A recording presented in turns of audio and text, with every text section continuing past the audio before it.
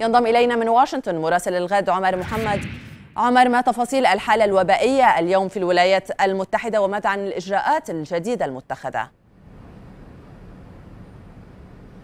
أهلا كاتشن. طبعا الولايات المتحدة سجلت خلال الأسبوع الأخير من يوليو 500332 حالة في أعلى معدل وهي بمقدار زيادة 130 بالمئة. جل هذه الحالات كانت من متغير أو سلالة دلتا في الولايات المتحدة الأمريكية. مع هذا ما زالت ما زال ال CDC مراكز الأمراض السيطرة على الأمراض والوقاية منها في الولايات المتحدة تؤكد أن تلقي اللقاح هو أفضل وسيلة لمواجهة هذا الفيروس هنا في العاصمة الأمريكية واشنطن فرضت العمدة عمدة المدينة موريل باوزر ارتداء الأقنعة في الأماكن الداخلية اعتبارا من يوم غد السبت في العاصمة وسيصبح هذا الأمر ساري المفعول نعم كاتشن. ما نسبة الإقبال على اللقاحات؟ يعني الرئيس بايدن كان قد أشار إلى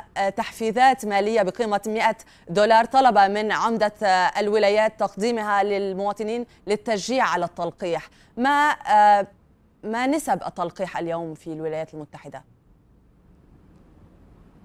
كاتشن الولايات المتحدة تلقى ما مقداره 49% من الأمريكيين الجرعتين الكاملتين على المستوى الوطني في الولايات المتحدة و57 بالمئة تلقوا جرعة واحدة من اللقاح. طبعا 100 دولار هي ليست رقما هنا في الولايات المتحدة لكنها مؤشر على أن الحكومة تسعى لتحفيز المواطنين الأمريكيين على تلقي اللقاح. لكن هناك مخالفات أخرى أخرى صدرت لربما من بعض الهيئات الفيدرالية فيما يتعلق بالحدود الجنوبية حيث أطلقت الإدارات الفيدرالية. أكثر من خمسين ألف مهاجر دخلوا بشكل غير شرعي إلى المدن. وكما هو معلوم أن هناك نسبة كبيرة منهم لا يريدون تلقي اللقاح نعم. لا يرتدون الكمامات.